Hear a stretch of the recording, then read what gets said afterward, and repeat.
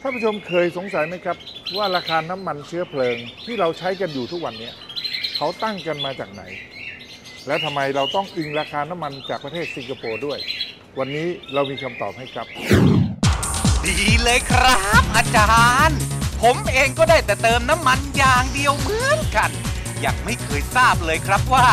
ราคาน้ำมันที่บอกว่า วันนี้ราคาเท่านั้นเท่านี้ มันหมายถึงอะไร แล้วประกอบไปด้วยอะไรบ้าง โครงสร้างราคาขายปลีกน้ำมันบ้านเราเนี่ยนะครับมันก็ประกอบด้วย 3 ส่วนหลักๆนะครับส่วนแรกก็คือตัวของเนื้อน้ำมัน ถ้าเกิดว่าในส่วนของแก๊สโซฮอล์ก็จะต้องมีส่วนผสมของเอทานอลนะครับแล้วก็ถ้าเป็นน้ำมันไบโอดีเซลก็จะมีส่วนผสมของตัวไบโอดีเซลตรงนี้ก็จะอยู่ในส่วนเนื้อน้ำมัน ส่วนที่ 2 ของตัวต้นทุนในโครงสร้างราคาก็คือเรื่องของภาษีและกองทุนน้ำมันนะครับส่วนที่ 3 ก็คือค่าการตลาด โดยทั้ง 3 ส่วนที่กล่าวมานั้น ถ้าแบ่งตามสัดส่วนแล้ว คิดเป็นราคาของเนื้อน้ำมันนั้น คิดเป็น 40-60%อีก 40%จะเป็นส่วนที่ค่าภาษีและกองทุนน้ำมัน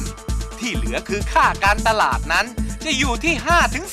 5-10%รวมกันแล้วก็จะออกมาเป็นราคาน้ำมันที่เราต้องเป็นผู้จ่ายนั่นแหละครับ โดยในส่วนของภาษีและกองทุนน้ำมัน รัฐจะทำการเรียกเก็บตามนโยบายการเก็บภาษีของรัฐ ส่วนที่เป็นราคาของเนื้อน้ำมันนั้น เราอ้างอิงกับราคาของตลาดโลก ซึ่งในภูมิภาคแถบเอเชียนี้ จะอยู่ที่ตลาดสิงคโปร์อย่างที่ทราบกันดีว่าประเทศไทยเราเนี่ยเราไม่ได้เป็นผู้ผลิตน้ำมันนะครับ ทีนี้ว่าไอ้ราคาที่จะเป็นราคาที่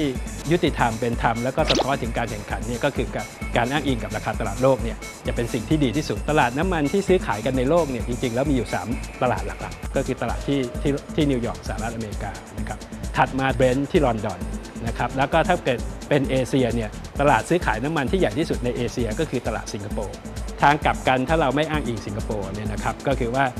ในช่วงที่ราคาในประเทศเนี่ยสูงกว่าราคาสิงคโปร์เนี่ยน้ำมันจากบ้านเราเนี่ยก็จะไหลออกไปขาย ที่ตลาดสิงคโปร์นะครับกลับกันว่าถ้าเกิดว่า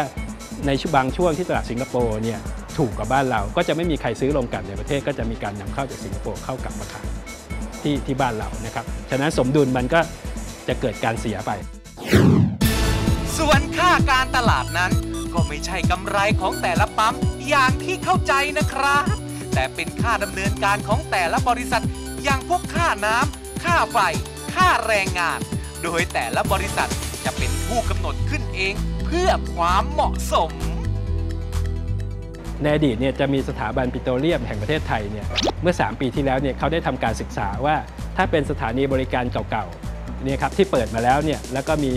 ยอดขายประมาณสัก 5-6 แสนลิตรต่อเดือนเนี่ยค่าการตลาดขั้นต้นที่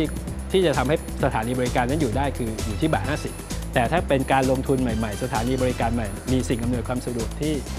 พร้อมพร้อมเพรียงเนี่ยนะครับก็ควรจะอยู่ที่บาท 80ถึง2บาทนะครับในบางช่วงถ้าเกิดค่าการตลาดต่ำมากๆ บริษัทผู้ค้าก็จำเป็นจะต้องปรับราคาขายปลีกขึ้นนะครับในทางกลับกันบริษัทผู้ค้าถ้าเห็นว่าค่าการตลาดมันสูงไปเนี่ยก็ต้องปรับราคาลดลงนะครับตรงนี้คือกลไกตลาดจะเป็นคน